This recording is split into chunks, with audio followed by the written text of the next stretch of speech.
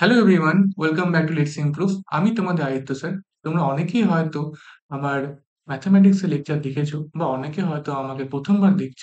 So আজকে আমরা একদম আলাদা একটা টপিক আমার ডাব্লিউবি যে জার্নির যে ড্রপ ইয়ার ছিল, তাতে আমি কি করে প্রিপারেশন করেছিলাম, কি কি ভুল করেছিলাম বা কি কি আমার মতে আমি ঠিক করেছিলাম, তার সম্পর্কে একটু আলোচনা করব। আমার জীবনে একটা খুবই গুরুত্বপূর্ণ অংশ।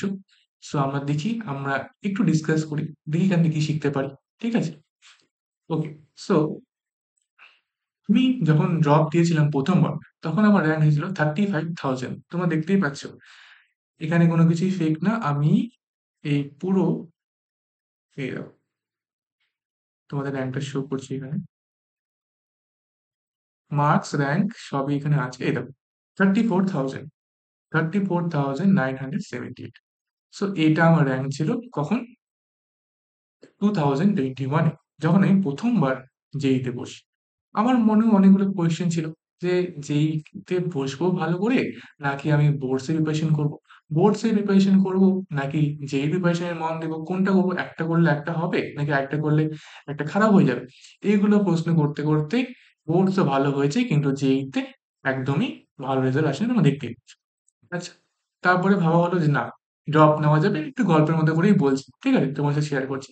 তো ড্রপ নেওয়া যাচ্ছে। আচ্ছা ড্রপ নিলাম, তো ড্রপ নিয়ে আমি কি করে পড়াশোনা করলাম? কি কি জিনিস সাথে ঠিক হয়েছে, কি কি ভুল হয়েছে, সেটা আমরা একটু দেখব হ্যাঁ? সো ড্রপ নেওয়ার পরে আমার র্যাঙ্ক এসেছিল, সেটা হচ্ছে three thousand eight hundred and eighty three এটা ছিল হচ্ছে আমার র্যাঙ্ক ফাইনালি যদিও বা ম্যাথামেটিক্সে আমি অনেকটা বেশি এক্সপেক্ট করেছিলাম বাট সেটা হয়নি। হয়তো পরীক্ষা দিন অনেক মিস্টেক সিলি মিস্টেক্স হয়েছে। সেটা আমি পরে অ্যানালিসিসও করেছি। বাট ঠিক আছে। সবকিছু পক্ষে যায়নি। ওকে সো এবার আজকের আমাদের মেইন টপিক যেটা, সেটা হচ্ছে যে আমি দুটো পার্টে ভাগ করেছি, যে things I did right things I did wrong so আগে আমরা ঠিকটা আমি একটু বলছি যেটা আমার মতে, আমি ঠিক করেছি। সেটা হচ্ছে কভারিং হোল সিলেবাস আমি কোনো টপিক বাদ দিইনি। ফিজিক্স কেমিস্ট্রি ম্যাথামেটিক্স পিসিএম আমাদের এই তিনটে সাবজেক্ট পড়তে লাগবে। এই তিনটে সাবজেক্টের আমি each and every topic each and every chapter যে ডাব্লিউ যে সিলেবাসে ছিল, আমি সবই পড়েছি। হ্যাঁ যেইগুলোর ওয়েটেজ বেশি, তাকে আমি একটু বেশি গুরুত্ব গুরুত্ব দিয়ে পড়েছি। যেগুলোর ওয়েটেজ কম, তাকে আমি একটু কম গুরুত্ব দিয়ে পড়েছি, কিন্তু আমি কোনো টপিক মিস করিনি। এটা হচ্ছে কভারিং হোল সিলেবাস এটা খুবই ইম্পর্টেন্ট তোমরাও সিলেবাস দেখবে ডাব্লিউ যেই অ্যান্ড তার থেকে যে যে পয়েন্টগুলোতে সবগুলো পয়েন্ট কভার করবে একটাও যাতে বাদ না থাকে। তারপর কি আছে making short notes making short নোটসকে আমি যে বড় বড় চ্যাপ্টারগুলো ছিল, তার শুধু ফর্মুলাগুলো এক জায়গায় লিখতাম ইম্পর্টেন্ট কনসেপ্টগুলো এক জায়গায় লিখতাম এরকম করে একটা বড় চ্যাপ্টার ধরে ধরে নাও এপিজিপি বা পারমুটেশন কম্বিনেশন এই বা স্ট্রেট লাইন এই বড় চ্যাপ্টারে যে ফর্মুলেশনসগুলো আছে বা ইম্পর্টেন্ট কনসেপ্টগুলো আছে তাকে একটা জায়গায় ফ্রেম করার চেষ্টা করতো। দু থেকে তিনটে পেজের মধ্যে তোমার একটা চ্যাপ্টার শেষ হয়ে যাওয়া উচিত। তাহলে কি হবে যখন তুমি রিভাইজ করতে যাবে, তখন তোমাকে পুরো একদম খাতা চল্লিশ পঞ্চাশ পাতা রিভাইজ করতে হবে না।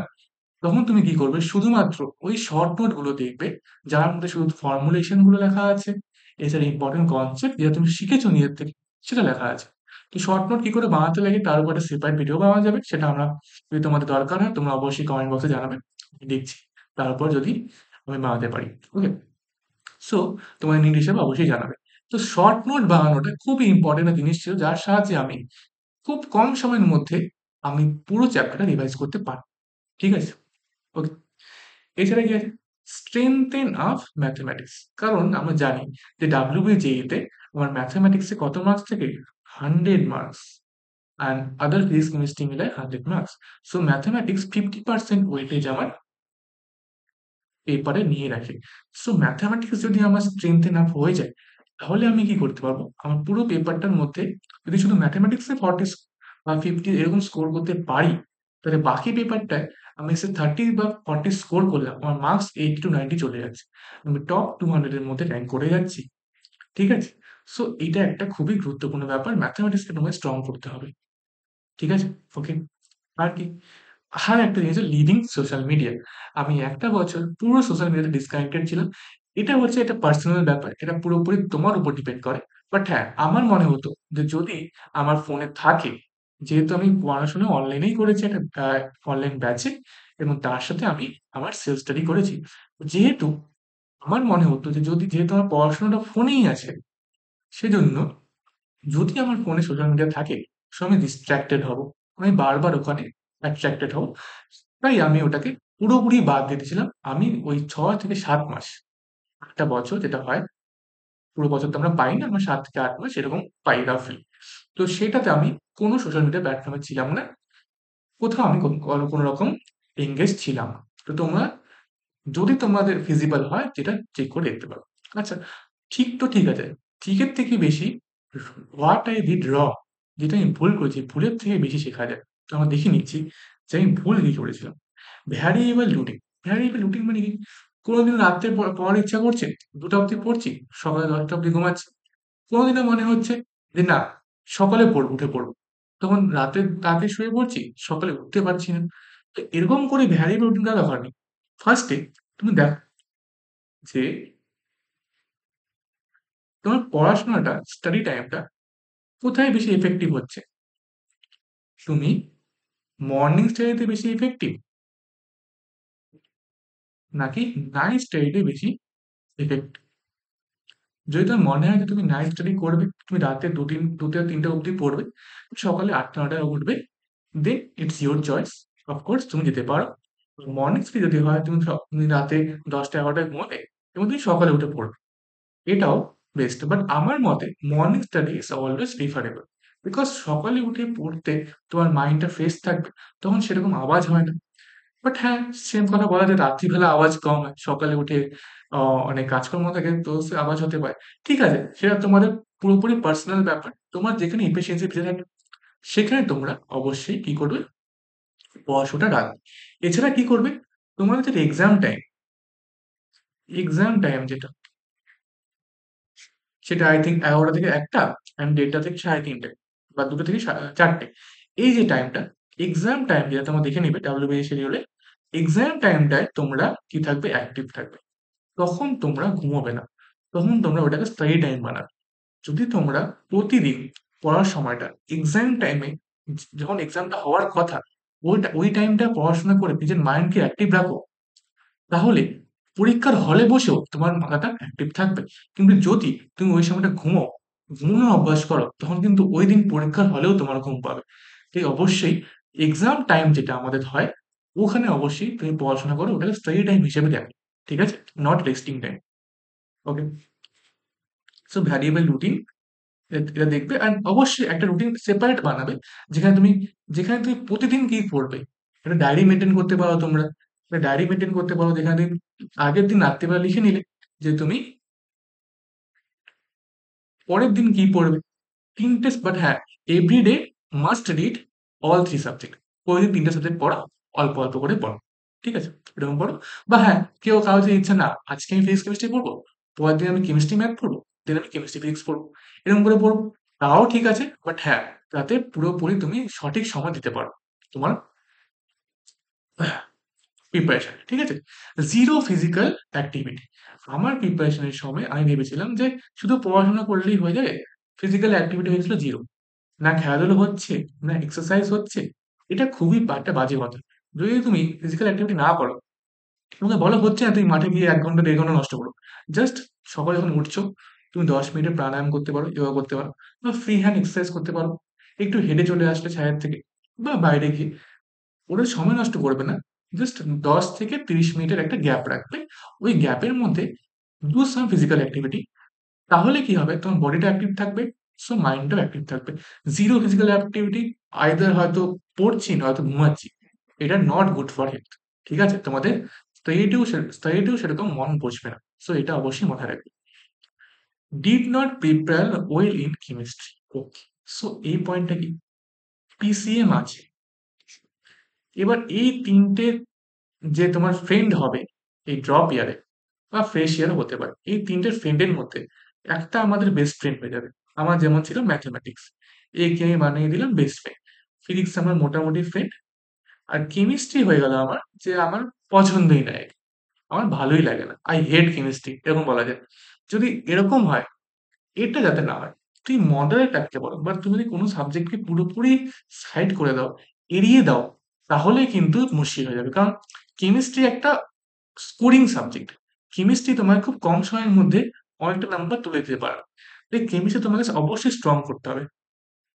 You must strong chemistry physics তো করতেই হবে। তাহলে কেমিস্ট্রি তোমায় মাস্ট স্ট্রং করতে হবে বিকজ তুমি এবছরও কোয়েশ্চেন উঠিয়ে দেখো কেমিস্ট্রি হচ্ছে must scoring paper easy question এসেছে অ্যান্ড তার উপর ইজির থেকে বড় কথা, তুমি যদি কনসেপ্ট জানো, তুমি আনসার দিতে পারবে। সো স্ট্রং করতে হবে কেমিস্ট্রিকে যে কোনো কম্পিটিভ এক্সাম ডাব্লিউবি যেই যেই মিনস অ্যাডভান্স এনিথিং তোমাকে অবশ্যই কেমিস্ট্রিটা স্ট্রং করতে হবে।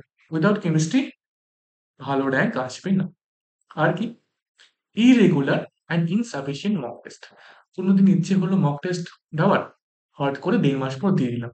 কোনোদিন ইচ্ছে হলো যে মাঝে মাঝে যে এক সপ্তাহ পর দিয়ে দিলাম। তারপরে দু মাস দিলাম না, আবার এক সপ্তাহ পর দিলাম। সো এরকম irregularity and insufficient mock test দিয়ে তুমি কোনোদিনও বুঝতেই পারবে না তোমার প্রিপারেশনটা কোথায় আছে। তুমি খালি দেখবে যে হ্যাঁ মক টেস্টে ভালো রেজাল্ট আমি রেডি না, আমি মক টেস্ট দেবো না। আমি এখনও রেডি না মক টেস্ট দেবো না। তো কবে মক টেস্ট দেবে? তাহলে কিন্তু তোমার যে ডাব্লিউবি যে অ্যাটেম্পটা ওটাই কিন্তু মক টেস্ট হয়ে যাবে। তাহলে তোমার সেখানেই ভালো স্কোর আসবে না। সো তোমাকে রেগুলার মক টেস্ট দিতে হবে। ফার্স্টে তুমি মান্থলি দাও। মান্থে দুটো করে দাও। ঠিক আছে? তারপরে মান্থে চারটা করো। দেন উইকলি দেওয়া শুরু করো। এরকম করে করো, ধীরে ধীরে ধীরে ধীরে যার যে যে কি বলে কোয়ান্টিটিটা আছে সেটা বাড়াতে হবে। ঠিক আছে? যত পরীক্ষার সামনে আসবে মক টেস্টের লেভেল ততই বাড়বে।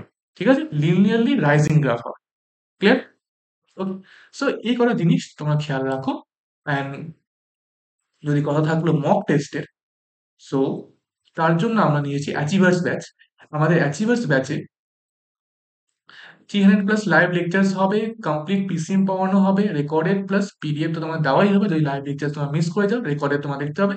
আর আমরা মক টেস্টের ব্যবস্থা করছি যাতে আমার যে সমস্যা হয়েছিল insufficient and irregular mock test তোমাদের না হয় ক্লাস ইলেভেন টুয়েলভ পুরোটা করানো হবে, তার সাথে থিওরি প্র্যাকটিস পিআইকো সবই আমরা কমপ্লিট প্যাকেজ এখানে দেবো। এটা আর এস আমাদের রুপিস হচ্ছে এখন two hundred eight hundred and join করার জন্য তোমরা লিস্ট দেখতে পারো। তো টু থাউজেন্ড এইট হান্ড্রেড একটা প্রাইস তোমরা অবশ্যই চেক আউট করতে পারো। ঠিক আছে? ওকে তাহলে আমি একটা কথা বলি তা আমার তুমি এখান থেকে বুঝতে পারো তোমরা সবাই যে কোন জিনিসগুলো আমার ভুল হচ্ছে বা কোন জিনিসগুলো ঠিক হচ্ছে। আচ্ছা এরপর আমি একটা জিনিস দিয়ে শেষ করতে যাচ্ছি সেটা হচ্ছে, আমি একটা গ্রাফ ভাবছি। সেটা কি? যে ধরো, এইটা হচ্ছে আমার উইল কি এটা উইল পাওয়ার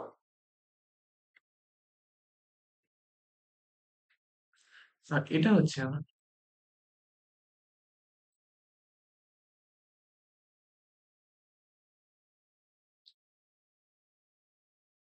এনার্জি সেটা এনার্জি স্যার এগুলো কি বলছেন? আচ্ছা দেখো, যখন এই যে এক্স অ্যাক্সিসে তোমার নাম ওয়াই অ্যাক্সিসে তোমার প্রিপারেশন তাহলে আমি কি বলতে যাচ্ছি? যে এই গ্রাফটা দেখ, যখন তোমাদের প্রিপারেশনের স্টার্টিং ফেজ থাকবে মানে এই ফেজটা যখন টাইম শুরু শুরুতে হবে, তখন তোমাদের এনার্জি পুরো হাই থাকবে। যে হ্যাঁ আমি করব, আমায় করতে হবে, না করলে আমি ভালো কলেজ পাবো ধীরে ধীরে ধীরে ধীরে তোমরা দেখবে সময় সাথে সাথে যে আজকে না কালে করব, এখন না পরে করব, এরকম করে তোমাদের এনার্জি ডাউন হতে থাকবে। এটা হচ্ছে এনার্জি ব্যাপারটা। আচ্ছা উইল পাওয়ারের ব্যাপারটা কি? উইল পাওয়ারের ব্যাপার হচ্ছে, যখন শুরুতে থাকবে, তোমাদের এনার্জি খুব হাই তোমাদের উইল পাওয়ারে সেরকম দরকার হবে না। মানে থাক, এখন তো আমার এনার্জি আছে হাই আমি তো নিজের থেকেই করব নিজের থেকে তোমরা পড়তে বসবে নিজের থেকেই করবে, কাউকে কিছু বলতে হবে না। বাট যখন সময় যাবে, তোমাদের এনার্জি ডাউন হতে থাকবে, তখন তোমাদের দরকার পড়বে উইল পাওয়ার না, আমাকে করতেই হবে, আমার ইচ্ছা করছে না, তাও আমি করব। আমার ভালো লাগছে না, তাও আমি করব। আমার শরীর খারাপ হ্যাঁ একটু রেস্ট নিলাম। তারপর ঠিক হলাম, সাথে সাথে আবার বসবো। আমি মক টেস্ট দিব, আমি কোয়েশ্চেন সলভ করব, আমি করি দেখো তো তখন তোমাদের এই যে উইল পাওয়ারটা এটাকে তোমাকে ধীরে ধীরে ধীরে ধীরে বাড়াতে হবে। এই এনার্জি আর উইল পাওয়ার যখন একসাথে মিলে যাবে, তখন তোমরা দেখতে পাবে, তোমাদের প্রিপারেশন একটা কনস্ট্যান্ট লেভেলে চলছে। এই এনার্জি আর উইল পাওয়ারের যে রেজাল্টেন্টটা এটা দেখো তোমাদের প্রিপারেশন এই প্রিপারেশনটা যখন তোমাদের কনস্ট্যান্ট হয়ে যাবে, তোমরা কনস্ট্যান্টলি ইনক্রিজ করবে নিজেকে কনস্ট্যান্টলি তোমাকে আরও বেটার করবে উইথ টাইম তখন তোমাদের যে র্যাঙ্ক আসবে সেটা তোমাদের এক্সপেকটেশনের থেকেও বেশি আসতে পারে। সো হ্যাঁ এটা হচ্ছে একটা ছোট্ট একটা ভিডিও যেখানে আমি আমার যে জার্নি তোমার সাথে শেয়ার করলাম, আমার ভুলগুলো, আমার যে ঠিক জিনিসগুলো ছিল সেটা তোমার সাথে শেয়ার করলাম অ্যান্ড কিছু সাজেশনস কিছু প্রবলেমস এটা তোমাদের জানালাম যদি তোমাদের কোনো ডাউট থাকে যে, স্যার, এরপর কি করব? বা, আমার এরকম এরকম ফেজ আছে, তোমরা, আমি পার্সোনালি সবাইকে রিপ্লাই করব। জাস্ট কমেন্ট ডাউন বিলো ঠিক আছে? And of course at the end all the very best সবাইকে for WBJEE two thousand twenty five experience আচ্ছা স্যার পরীক্ষা তো পরের বছর, এখনই কেন অল দ্য বেস্ট বিকজ এই যে জার্নিটা পরীক্ষা একদিন হবে বাট জার্নিটা খুবই ইম্পর্টেন্ট হয়। এই জার্নিটাতে অনেক আপস থাকবে ডাউনস থাকবে, সব থাকবে। বাট তোমরা যদি ওই উইল আর এনার্জিকে একসাথে নিয়ে কনস্ট্যান্টলি তোমাদের প্রিপারেশনটাকে বেটার করতে পারো, তাহলে তোমার অবশ্যই ভালো র্যাঙ্ক নিয়ে আসবে। So all the best for your preparation ঠিক আছে? দেখা হচ্ছে পরের ভিডিওতে। Thank you